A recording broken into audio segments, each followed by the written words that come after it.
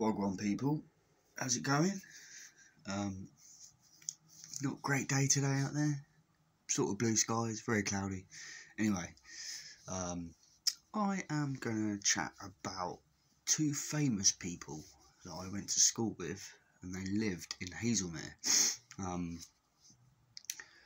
so, the first one I will talk about is James Corden. Now, everyone knows James Corden. He uh, he's, he, he lives in I believe he lives in America now. He's done quite well for himself. He's done a lot of like voiceover and cartoons. Done a lot of films. The reason why I'm bringing this up was because last night I was looking for Amazon Prime, and he, come up on my Amazon Prime, and I was like, oh yeah. So I went to school with James. He was um a few years older than me. I believe he was like Eddie Bates's age, something like that. Anyway, so James Corden, I'm just gonna say the truth here. He was a bully. Um, I think a lot of it was because he went to Jackie Palmer's, which was a school f- to teach like kids how to act, sing, dance, and I think he just got a bit of a big head for it. That's that's how I saw it. He just thought he was better than everyone else because he had done a few TV adverts, worked on some shows, etc., etc. He used to bully someone I know called Kirsty, and um, I'll tell you a little story. He, he had he got one he got a moped because obviously he'd done his adverts, so he got money, and he got a moped at quite a young age. Well, I say quite a young age. He wasn't young, young, but you know what I mean. He was legal to drive it. So we we were all down the park parade, and uh, a bloke called Mark Hall. He's about five years younger than me, I'd say. Maybe six years younger than me. Anyway, he's uh, Mark's down there hanging out with his mates, and James Corden has come along on his moped. And uh, I think Mark might have said something to him because of who he is, James Corden, you know. And then James has got quite nasty, and he's um he's basically uh, started picking on Mark and being really really nasty to him. So James, had, um, Mark's gone back home. He lived at the top of the link on a road called Roberts Roberts Ride, and he's gone and got his older brother called Steve Steve Hall. Now Steve Hall could look after himself. He was known for uh, he had a bit of a punch on him, um, in a bit of a temper. It's a bit of a temper. So obviously when he found out when Mark's gone and said I'm being picked on by um, James Corden," Steve Hall's just ran down.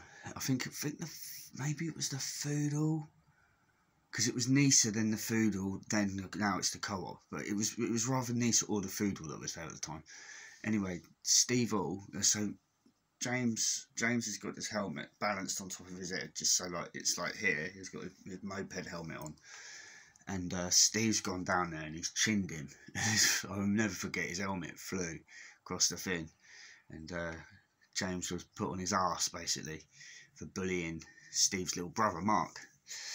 Um, yeah, so that's James Corden. I, I, went to part school with him. I went to part school, and his sister was in my year. He was a couple of years older than me, and um, the family lived on this estate.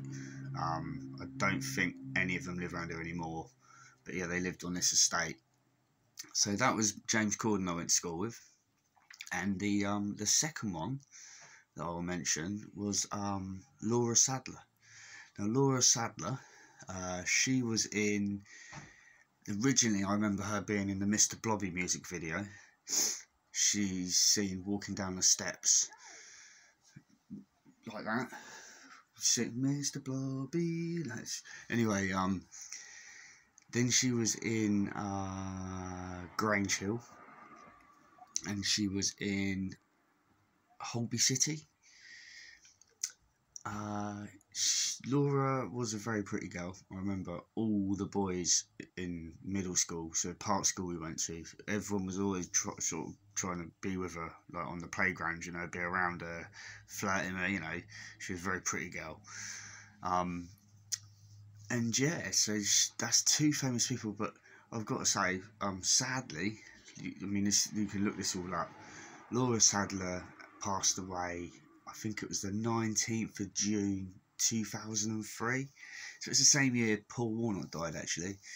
Um, yeah, so she passed away then. She fell off of her uh, off of a balcony in London at her boyfriend's place. He was an actor as well, um, and she had a large quantity of alcohol, cocaine, and diazepam in her system.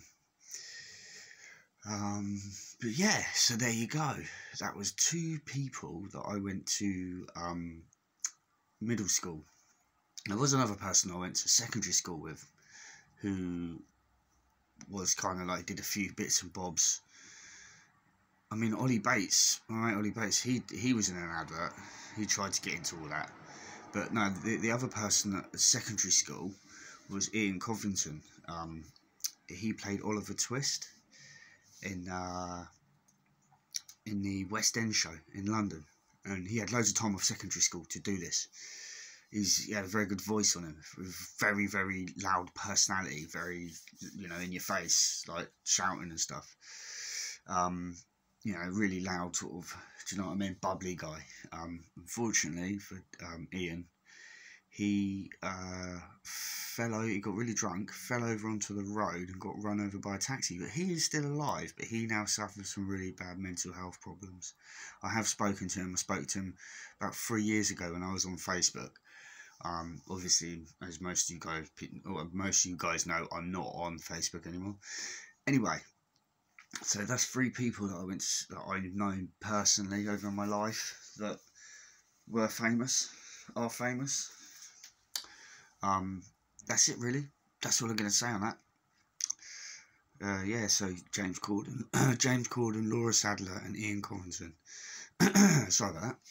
Anyway, people, I hope you all have a blessed Saturday. Um, enjoy your enjoy your weekend. Kids are going back soon. Oh my God, what are you guys, what are you parents gonna do? Um, just want to say thanks to everyone for your support, for watching, for liking, and I'd also like to say thank you to Teresa last night for your phone call. She told me off, told me I've got to stay positive. It was like being told off by a school teacher. Um, it was really funny. Uh, thanks, Teresa. I do appreciate it. Um, all my, all my supporters out there, I love you guys, honestly. All my haters out there, keep watching because you're helping my views go up, man. I don't mind. anyway, I'll see you guys soon, yeah? You take care and uh, thanks for tuning in. Much love.